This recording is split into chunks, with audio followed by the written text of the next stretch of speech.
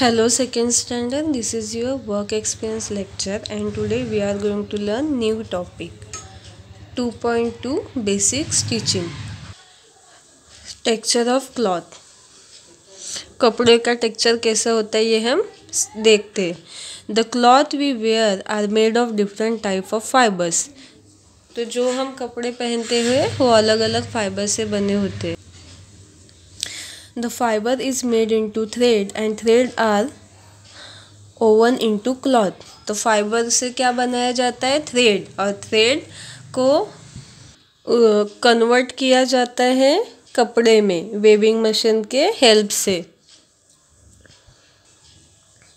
The cloth could be rough और smooth to touch और कपड़े को अगर हम टच करते तो वो रफ और स्मूथ लगते कुछ रफ होते हैं और कुछ सॉफ्ट कपड़े होते हैं ना। Take a cotton shirt and a polyester shirt touch and feel both the shirt with your hand अगर आप एक कॉटन का और एक पॉलिस्टर का शर्ट लेंगे और उसको आपके हाथ से टच करना है। वॉट इज़ द डिफरेंट तो आपको कुछ डिफरेंट दिखाई देगा। जैसे कि cotton shirt is coarse and the polyester shirt is smooth to touch cotton का है, वो जैसे आपको थोड़ा सा रफ लगेगा और पॉलिस्टर का पूरा स्मूथ लगेगा आपको सॉफ्ट टच लगेगा। This different in how you feel the cloth is called the texture of cloth तो हम कपड़ा कोई भी लेते तो हम हाथ लगा के देखते हैं ना तो हम क्या देखते हैं? टेक्सचर ऑफ़ क्लॉथ कपड़ा कैसा बना हुआ है? कपड़ा अच्छा है क्या नहीं? Now find the texture of different cloth. You have like the woolen, sweater, silk, scarf, leather, jacket, its. अलग अलग प्रकार के जो कपड़े होते हैं जैसे कि उलन के स्वेटर होते हैं तो उनको हाथ लगाएँगे तो अलग आपको फील होगा। सिल्क का कपड़ा होता है स्कार्फ होती है लेदर का अगर जैकेट है तो सबका अगर आप टच करके देखते हैं तो सबका टेक्सचर आपको अलग दिखेगा। Visit to a cloth shop cloth shop की विज़िट देखते during Diwali Isha and her mother went to the market to buy new cloth Diwali के सीज़न में ईशा और उसकी मम्मी मार्केट जाती है नए कपड़े लेने के लिए। They were many shop some shops were selling saris some handmades cloth some were selling readymade cloth वहाँ पे बहुत सारे शॉप थे। तो कुछ शॉप साड़ी के लिए फ़ेमस थे तो कुछ शॉप में हैंडमेड कपड़े थे तो कुछ में रेडीमेड कपड़े थे। Isha and her mother first went to a shop selling readymade garment for children तो ईशा और उसकी मम्मी पहले कहाँ पे जाते हैं? जहाँ पे बच्चों के रेडीमेड कपड़े मिलते वहाँ जाते हैं। She saw many different kinds of cloth there. Isha's mother asked the shopkeeper to show dress made, dresses made with different kind of cloth. तो वहाँ पे बहुत सारे प्रकार के कपड़े थे। तो ईशा की मम्मी शॉपकीपर को क्या बोलती है? कि वो ड्रेस मटेरियल दिखाए ड्रेस दिखाए जो अलग अलग कॉटन के कपड़े से बने हुए हैं। अलग अलग कपड़े से बने हैं। Isha saw dresses made in cotton, polyester and silk cloth. तो ईशा देखती है कॉटन के बने हुए कपड़े, सिल्क के, पॉलिस्टर के, तीनों प्रकार के कपड़े वो देखती है। She could feel and see the difference in the cloth she select a pink silk dress for her self तो वो देखती है कि सभी कपड़े कैसे अलग अलग लग रहे वो टच करके देखती है। फिर वो अपने लिए एक पिंक कलर का ड्रेस सिलेक्ट करती है। ये देखिए, ईशा को पिंक कलर का ड्रेस पसंद आता है। Then they went to a shop selling sari. There were sari in different colour design and of different fabric having different texture उसके बाद ईशा और ईशा की मम्मी साड़ी के दुकान में जाती है। वहाँ पे उसे अलग अलग कलर के डिज़ाइन के साड़ी दिखती है। Her mother select a silk sari and a beautiful cotton sari for her self फिर उसकी मम्मी एक सिल्क की साड़ी सिलेक्ट करती है और एक कॉटन की सुंदर साड़ी अपने लिए पसंद करती है। Then they went to another shop to buy cloth for her father उसके बाद वो दूसरे दुकान में जाते उसके पापा के लिए कपड़े लेने के लिए।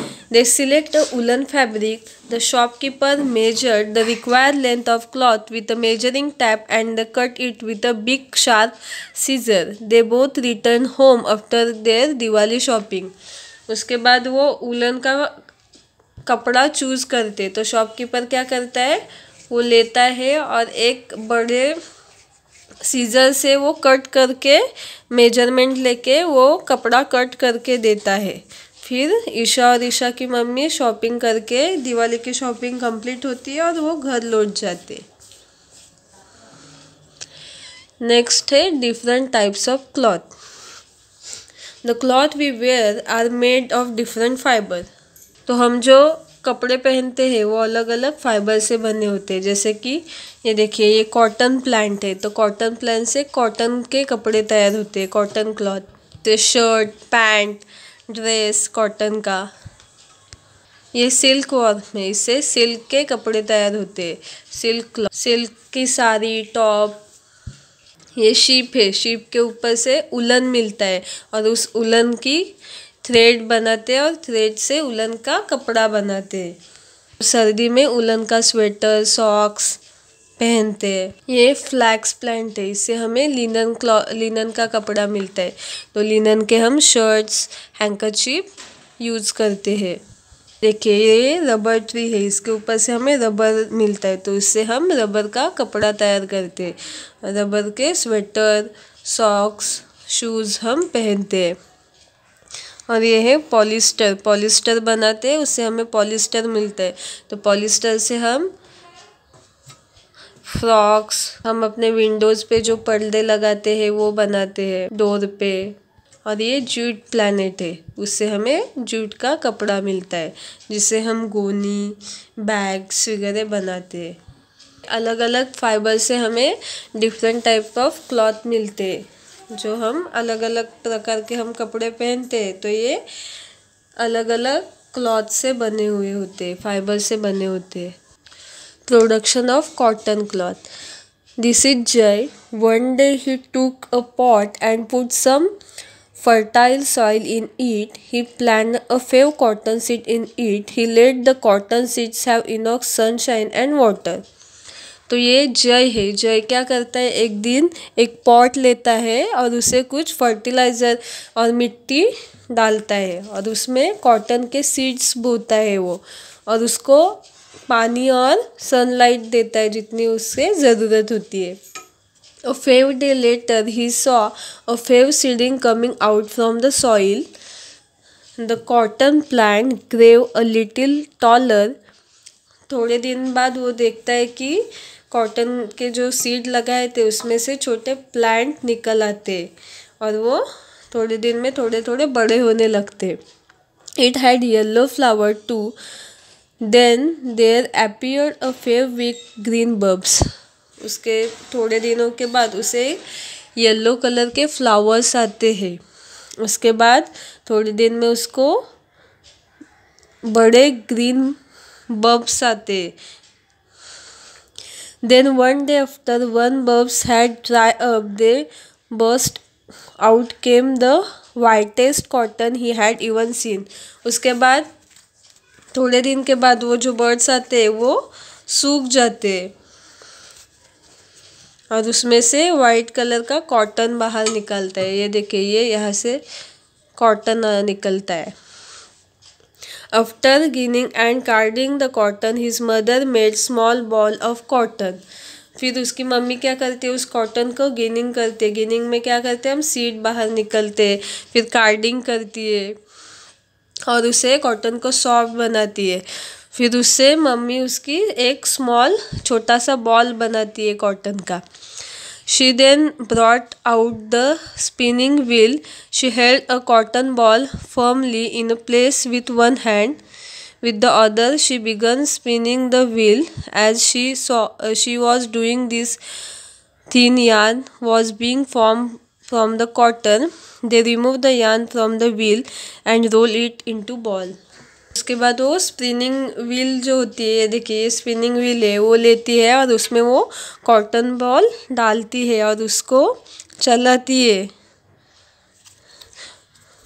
स्पिनिंग व्हील में डालने के बाद इस यान की ऐसे थ्रेड बनती है। फिर वो थ्रेड निकालने के बाद वो उसका बॉल बनाती है। This is how we obtain cotton thread cotton cloth is made from this threads by the process of weaving weaving के बाद वो विनिंग जो मशीन है स्पिनिंग व्हील उसमें से निकाल के थ्रेड बनती है। फिर वो बॉल जो बनाया है थ्रेड का, वो, उससे हम कॉटन यूज़ कर सकते हैं। The cotton cloth we buy from shop is made on machine in huge textile mill और जो हम कपड़े लेते हैं दो शॉप से, वो कैसे बनाते हैं? वो बड़े बड़े फैक्ट्रीज होते हैं, वहाँ पे बड़े बड़े मशीन्स होते उसमें टेक्सटाइल मिल्स होते उसमें से ये कॉटन के कपड़े बनाया जाता है। Different type of cloth can be stitched from this cloth और tailor stitch cloth for us तो इस कपड़े से हम अलग अलग प्रकार के कपड़े सीते हैं, जैसे कि पैंट, शर्ट्स, जैसे हमें अच्छा लगता है। तो उसके लिए हम टेलर के पास लेके जाते हैं और टेलर हमें जैसा चाहिए उस साइज़ में कपड़े सिला के देते हैं। यहाँ पे हमारा ये लेसन कंप्लीट होता है। इसमें हमने देखा कि क्लॉथ का टेक्सचर कैसे चेक करने का शॉप ने एक विज़िट देखी शॉप में डिफरेंट टाइप ऑफ़ फाइबर्स देखे प्रोडक्शन कैसे करते क्लॉथ का, ये हम सब इस लेसन में सीखे। तो आपको ये वीडियो अच्छे से देखनी है और लेसन अच्छे से रीड करना है। Thank you